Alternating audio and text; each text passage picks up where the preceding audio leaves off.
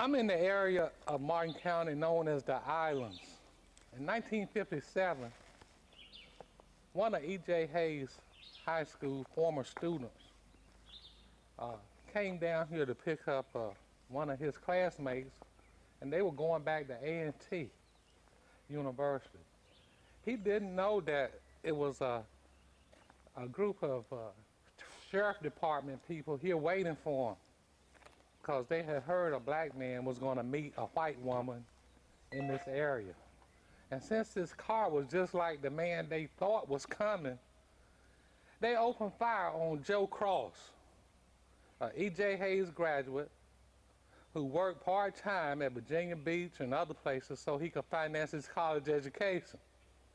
And he was home one weekend and he came to pick up another student who went to Hayes and was at that time going to A&T University. Uh, and this is where he met his death. He was shot more than one time. Uh, the sheriff of Martin County and a group of his deputies were involved. This is one of the tragic moments that happened during a time when African Americans were shot at will. The tragic situation that happened here went unsolved. Uh, nobody was prosecuted for it. Uh, it just went on and on. Uh, his body was taken to a white undertaker. And uh, during that time and today, black people, when they die, don't go to white undertakers. So that was a mystery too. So they contacted the black undertaker, uh, J.D. Everett, to see why this took place. Why did the body go to the white undertaker? So J.D. Uh, went and looked at the body and whatever he said, the black community took. He described what he saw and it wasn't long before the case was closed. But the question remains, why, after the killing of Joe Cross, did they take the body to a white undertaker? As I stand here where Joseph Cross was killed, I wonder which one of these trees would have been here during the time that this took place. It could have been this one here, since it's the biggest one that I see. If only that tree could talk, and we could find out what actually happened in 1957 when Joe Cross came through here to pick up a fellow student to go back to A&T University.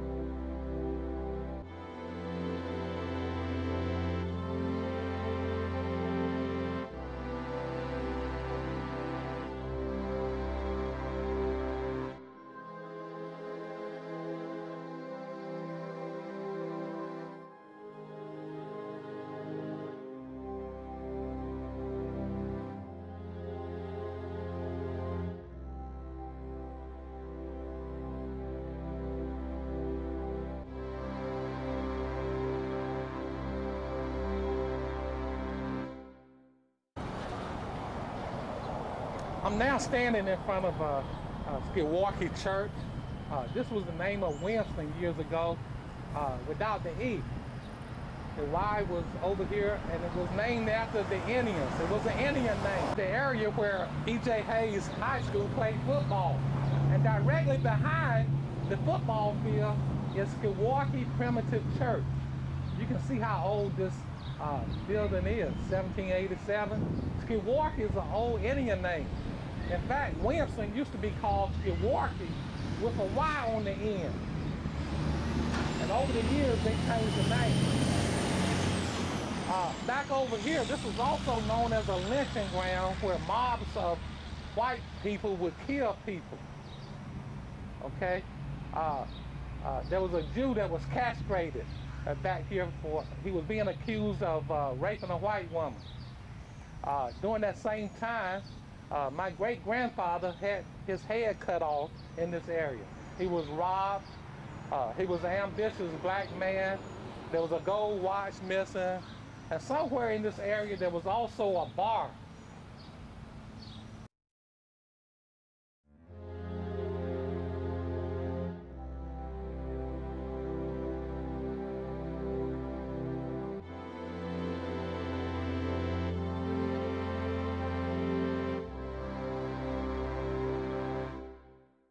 I'm standing next to what was once E.J. Hayes High School, which was started in 1924 for African American children. And it ended in 1970 when integration came. And uh, E.J. Hayes was turned into an elementary school. And they stopped using this school, which is now uh, in the hands of the Alumni Association. All the graduates, or some of them from E.J. Hayes, decided to lease the building and turn it into a communication area for kids or a place for kids to be involved with academic activities. This is where the principal used to be, W.A. Holmes, who took over in 1952 uh, after Edgar James Hayes, who the school was named after, uh, retired. Uh, E.J. Hayes, of course, began with Principal uh, Edgar James Hayes in 1924 and uh, in 1969, Edgar James Hayes died. Most of the students didn't know that he was living, the students that was here during that time. Mr. Holmes was a dynamic leader who brought many outstanding speakers to commencement, including Samuel Proctor, uh, Benjamin Mays, and Dowdy, Lewis Dowdy uh, from A&T University. Uh, we had many outstanding students to graduate from here, and they're in all professions, uh, doctors, lawyers, educators, uh, coaches, uh, writers, uh, and uh, too many to mention. the football players, basketball players stood out when they went to major universities. one of our outstanding coaches was Herman Boone, Remember the Titans fame. And a lot of the outstanding players like uh, Peter Saunders from years ago, Harold Joyner, who went to North Carolina College and played football, uh, people like Ricky Lanier, uh, Braxton Speller. There was a baseball team during that time, and uh, the team stood out. The basketball teams, Tony Bagley, Franklin Tip Everett. And during that time, a lot of the major universities were not accepting African Americans, but Ricky Lanier uh, went to the University of North Carolina as a quarterback, and of course, uh, it didn't work out. They put, they made him a receiver, and then we had uh, uh other players who went to colleges uh, and broke many records. Jack Johnson, who went to Fayetteville State, Richard Armstrong, who went to A&T University, and uh, there were so many that it's hard to mention. But all of these players did well when they went to school. David Shepard went to Guilford University and broke all kind of records. I'm standing here uh, where it used to be a Rosenwald school. This was part of E.J. Hayes. The agriculture teacher, Richard Broadnax, taught classes here. And uh, there was English and math and other courses taught back here. The school was torn down. Well, part of it was because my father bought the back part and moved it across the street for rental property. But a lot went on here in this Rosenwald school, which came about because in 1917, uh, Rosenwald, who was president of Sears and Roebuck, decided to build schools throughout the South for African American students. And, and that's when he decided to build this school on this site for the African American children in Martin County. Now, when I went to school here, my house was over there, so all I had to do was cross the street and come to school. Uh, I graduated in 1964. Okay, over here we have the library. This is where Miss, uh, Mrs. Blair was a librarian. And uh, most of the teachers were here throughout the whole time uh, during my education in 12 years at E.J. Hayes School. Uh, this is the stage where students participated in plays because E.J. Hayes had a drama club which was rated number one. They also had a glee club and a choir. Uh, down further,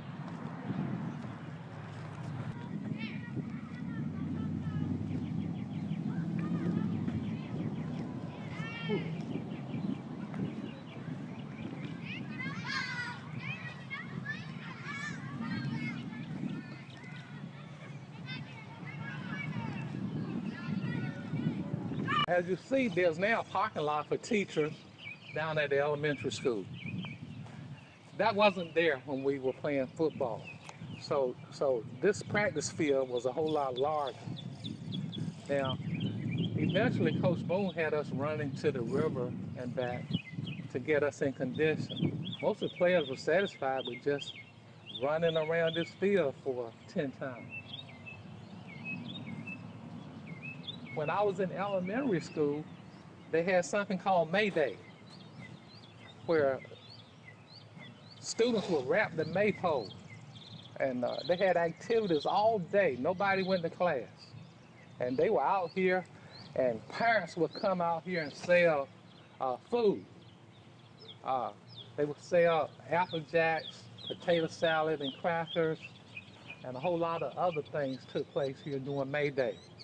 All of that ceased to exist after the years went by. This is where the school buses parked. And there was a lot of buses out here. They came from all around the county. Uh, uh, one or two buses came from the Darden area.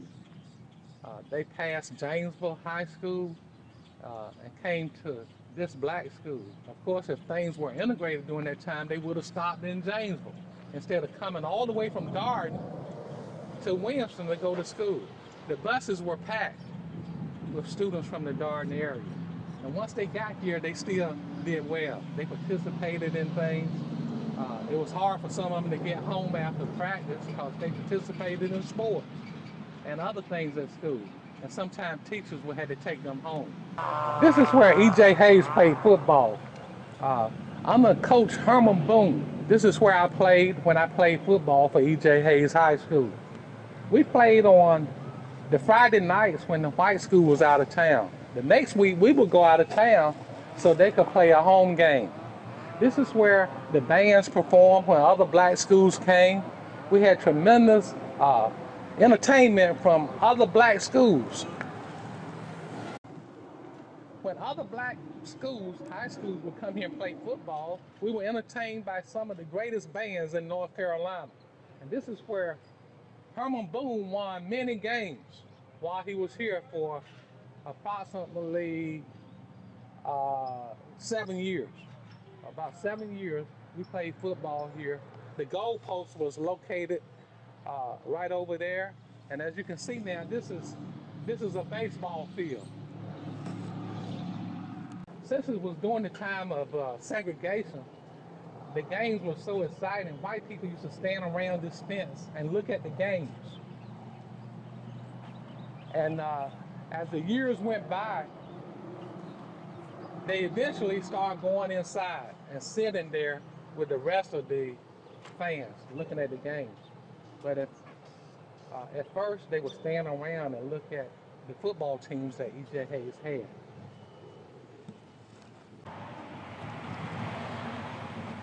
Uh, this is the dressing room for the E.J. Hayes Tigers. This is where we came and got ready to play football.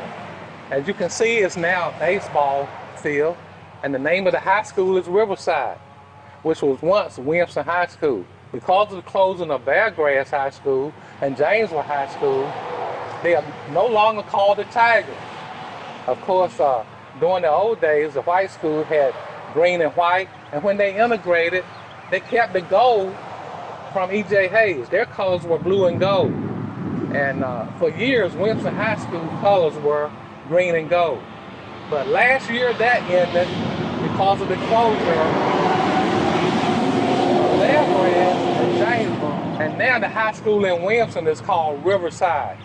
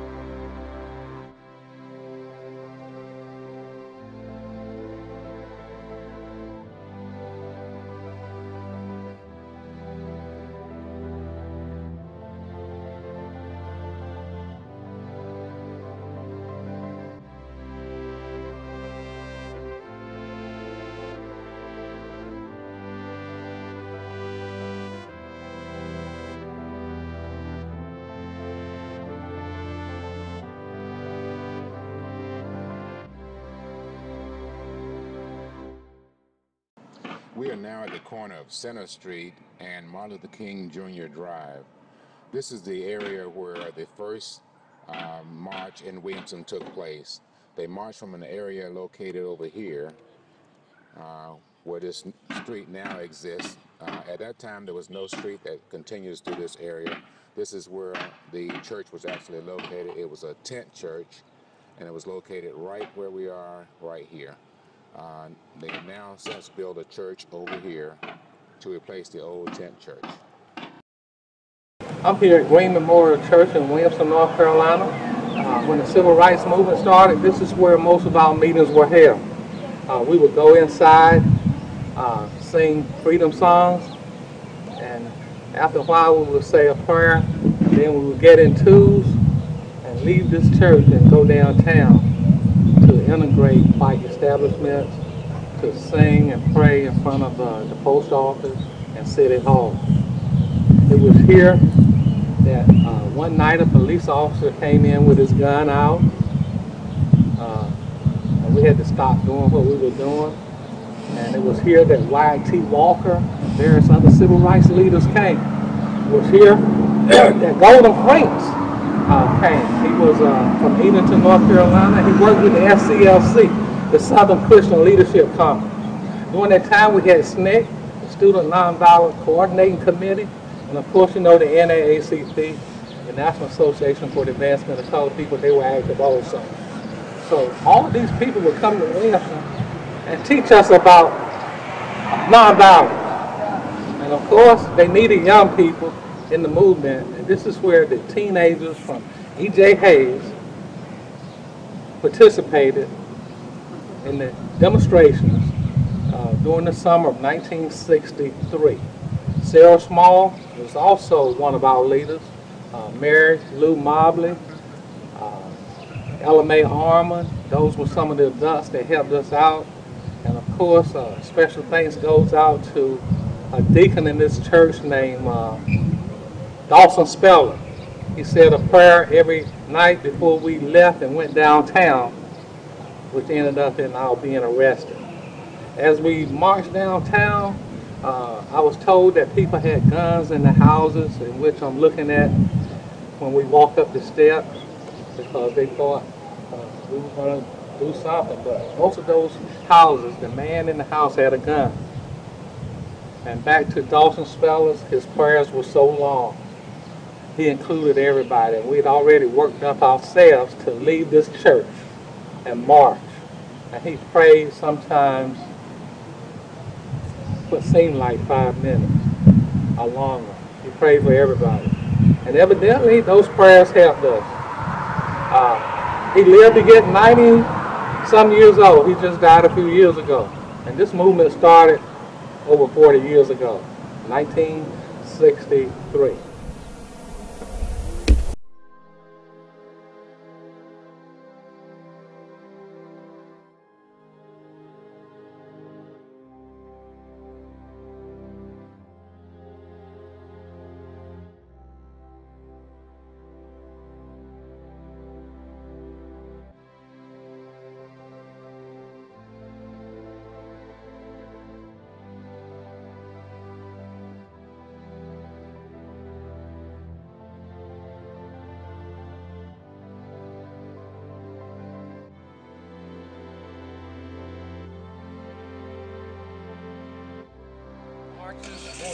Movement. Uh, uh, we were here singing songs and praying uh, here beneath the flag in front of the post office.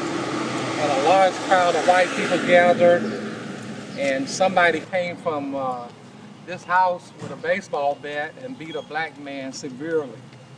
Uh, I had already braced myself for a beating, meaning that I was on my knees uh, praying and singing. But nothing ever happened. I was lucky that day. God was on my side.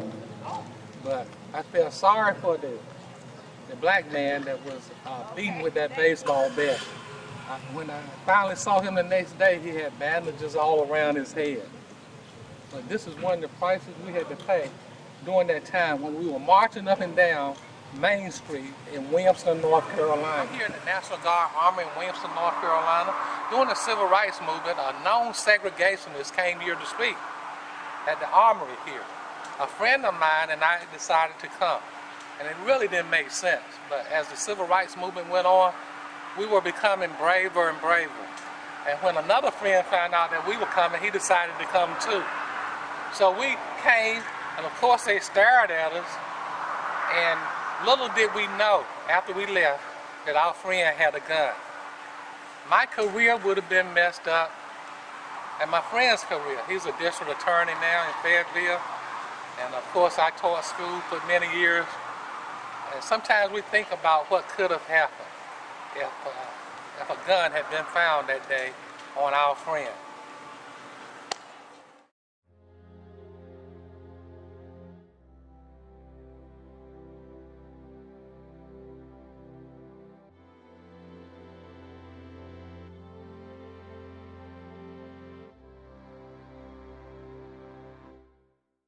Carolina.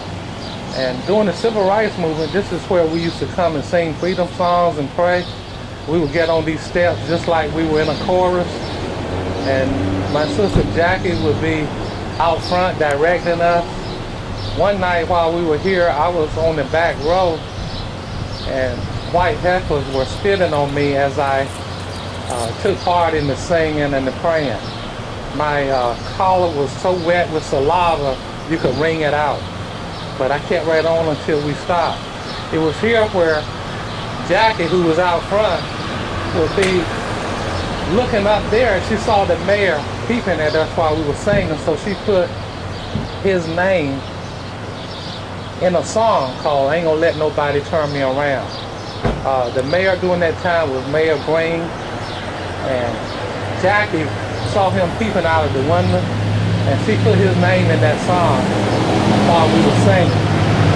Of course, the streets were loaded with white hecklers, and at one time we were expecting a lot of violence, and the highway patrol came from various places in North Carolina and lined the streets one night on both sides to protect us from white hecklers who meant harm. And that's when uh, some of the whites couldn't understand and they thought their own race was turning against them. I heard one or two say that. Our own race is turning against us. And this is when the white ministers from Boston came, and of course they uh, were met with violence also. Some of them were beaten to a bloody mess uh, when they came from Boston, and they went to jail just like we did. Uh, this led to some people when they went back to Boston, going back to Boston to live. Sarah Small and her family went, and uh, many other people from Williamston went to Boston, Boston, Massachusetts, after those people came here to help us. I'm standing in front of the Williamston courthouse.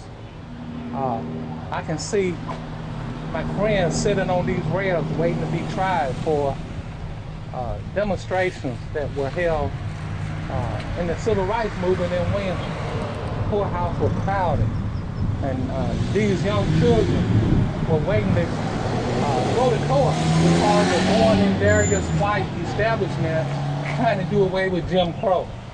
It was here that my sister and I, Jackie, were involved in a major court case in which we tried to convict a white man for pulling a gun on us as we tried to integrate a local laundromat.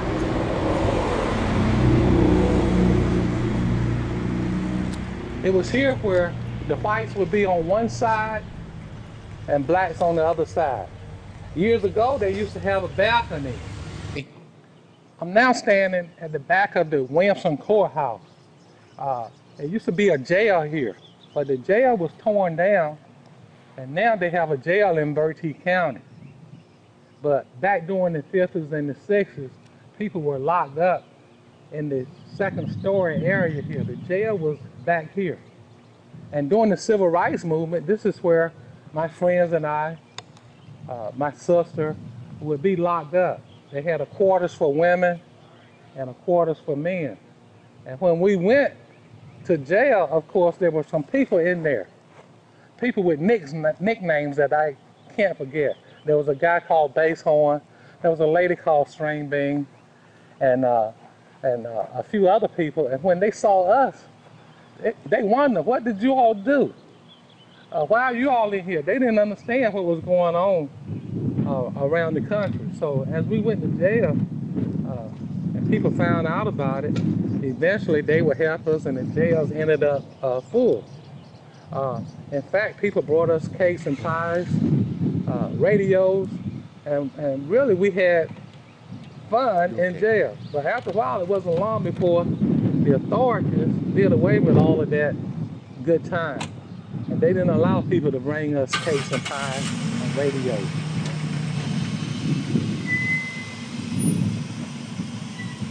Now, it wasn't long before we were released, of course. People in the community were stay in our bonds.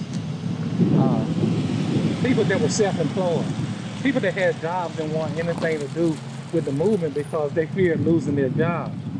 But as we walked out, with so many of us, some of those that were in jail for other crimes walked out with us.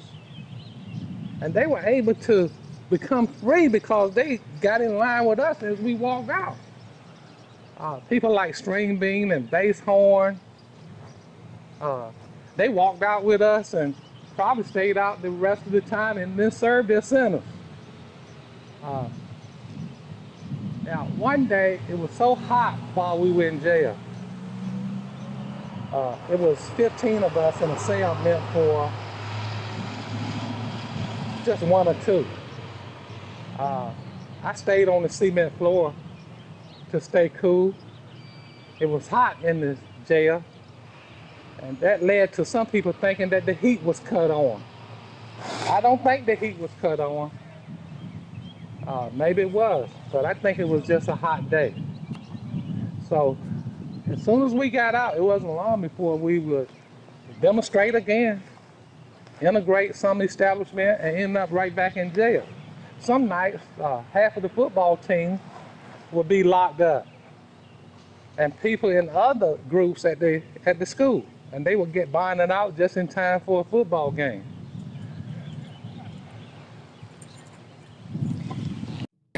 I'm now standing in front of Griffin's Quick Lunch. Uh, back in 1963, this was the scene of the first sit-in. Uh, my sister Jackie, John Howard, John Small, and Magella McIntyre went in here. We were teenagers, and this was the white entrance uh, for Griffin's Quick Lunch.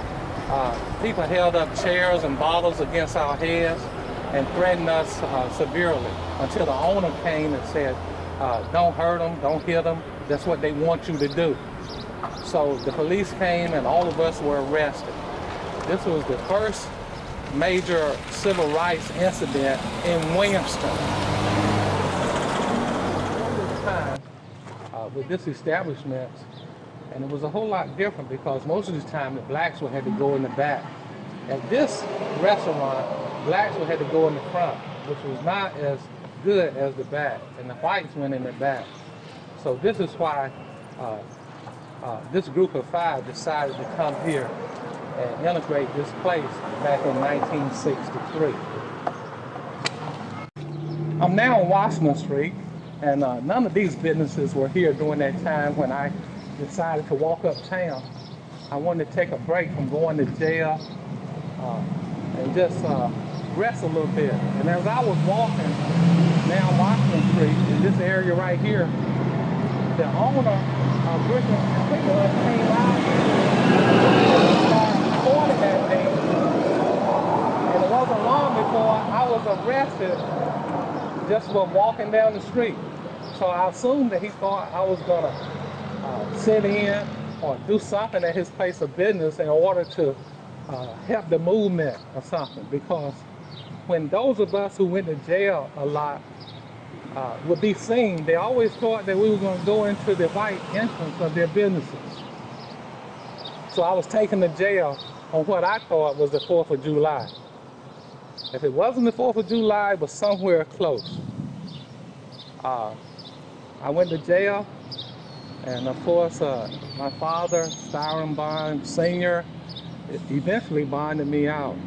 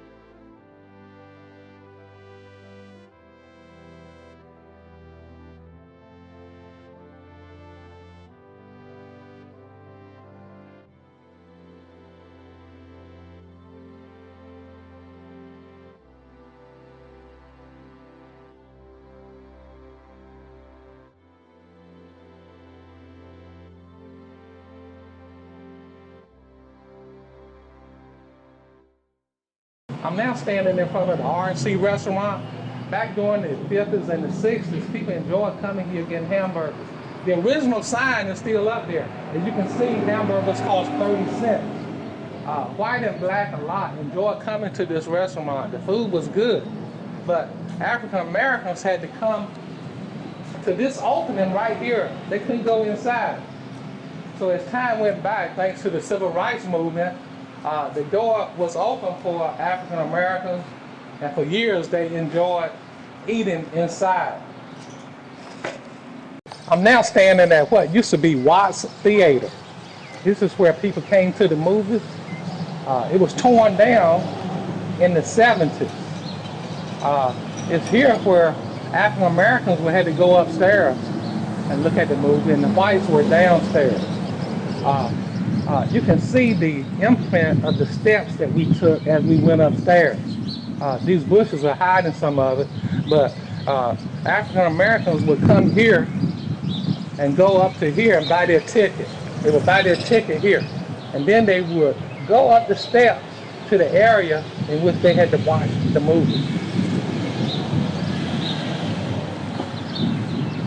There are no bushes in this area, so you can see the imprint of the steps in this area right here. And once we got along here, we were in the place where we were supposed to be as we looked at the movie, uh, in the balcony.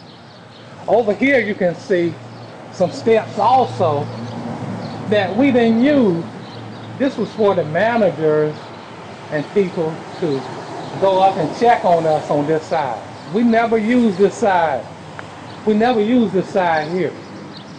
But this is where we went to the movies uh, during my growing up. This was called Watts Theater. And when the civil rights movement came, a group of blacks left uh, Reverend Carter's church on Sycamore Street, which is now Martin Luther King Boulevard. and we marched downtown in twos to this area here to go to the movies downstairs. And as we tried to get in, of course, we were stopped. Jack and I were up front.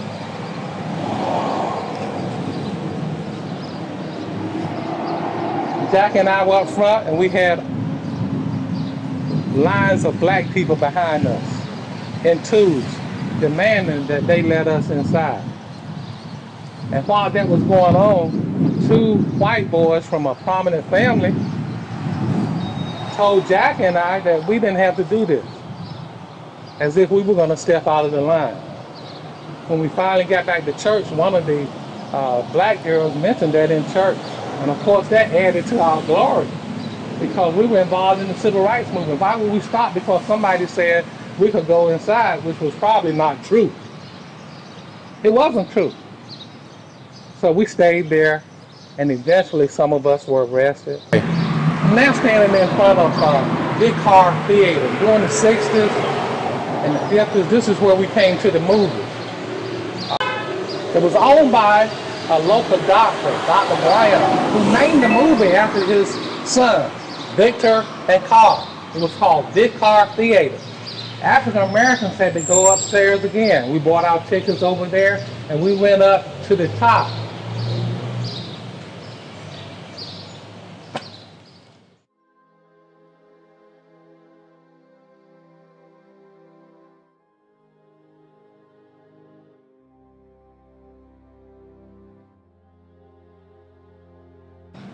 I'm now standing in front of Legacy Drugstore. Uh, these owners were different from a lot of other white people that own businesses. Uh, so were the people at the RNC. Uh, they were nice people, but they went along with the status quo. And, uh, and, and they were trying to satisfy both races. So here, they allowed African Americans to go inside, but we couldn't sit on the stools that they had in front of the counter. Uh, we had to stay right at the front and order whatever we wanted. So it wasn't long before Jack and I and some of our friends would go in and take a seat. And we were not arrested here. We were not arrested here uh, for taking a seat because, like I say, the owners were understanding what we were trying to do, and they were still trying to satisfy uh, the whites and the blacks as well. But we weren't supposed to sit down on those stools. It was about 15 stools in a row. And like I say, we had to stand at this counter where the chewing gum and other little things were. We couldn't go back in the major hall. Now, to bring this up again, the owners at the RNC were also what you might call fair people. But they went along with this status quo. Here at the old Martin General Hospital in Williamston, North Carolina, it was here that uh, African Americans and white alike were treated for various illnesses. Uh, one floor was for black and one floor was for white. I'm not sure which was the black uh, floor or the white floor. Uh, uh, this was our hospital for many years until they built a new one on the other side of town. I'm now standing in front of what used to be a laundromat white people went in the front and black people had to go through that door. When the civil rights movement was dying down in Williamston, I asked my sister Jackie about going to the white section of this laundromat. And she said, okay. She was 15 years old and I was 16. So we decided to come here and integrate this front part of this laundromat. Uh, as we went inside, the white women that were washing called their husbands. And before you knew it, all of them were gathered around trying to hurt us and get us out of this part of the laundromat. The back part was filthy. The front part had carpet, air conditioning, but back here there was no such air conditioning or no modern conveniences, just some place to wash your clothes. So before long, the police came. Well, before the police came, uh, one of our friends, Ben Scott, came by and saw that we were in trouble. He started a when Jack and I went in the front part of this laundromat, uh, the women inside had called their husbands, and the husbands came here to start a confrontation. And when they did, of course, the police was on their way too. But before all of that happened, a friend of ours named Ben Scott came by, and he knew we were in trouble, and he started a fist fight with the husbands of those women in the laundromat. And uh, Ben reminded us of the Ali Shuffle. He was being fancy with his steps and uh, jabbing at those uh, white men who came here to cause a problem. Uh, eventually, he ran away and went to the bus station and made it safely to Stafford, Connecticut. By that time, the police came because they were called also. There was a white only sign up here with some white teenage boys tore down and put in my truck. And when the police came, well, before the police came, a cook from Griffin's Quick Lunch, which is right over there, came over here with a gun and pointed it directly at my sister and I. And by the time the police came, he had already gone back over there to Griffin's Quick Lunch. So when the police came, my sister and I were arrested for trespassing. There was another charge uh, hooked on to my charge, and that was destroying property because of the white only sign. So after time went by, I told Jackie we need to get a warrant out on the white man that came over here and pulled a gun on us. And she said, okay, Mickey. Uh, okay, we'll go get a warrant out. Little did we know that black people didn't get warrants out on white people. So we went down to the uh, magistrate's office, and he was surprised that we were trying to get a warrant out on a white man for assault with a deadly weapon. So eventually he went on and gave us the warrant. Uh, maybe he wanted to see what was going to happen. So we got a warrant out on uh, Zeb Biggs, the guy who pointed the gun at us. And then we had to go to court. And on that court day, the courthouse was packed with people. Whites on one side, blacks on the other. Because during segregation, whites would sit on one side anyway, and blacks on the other. If the whites needed a seat and there was one available on the black side, they could sit over there.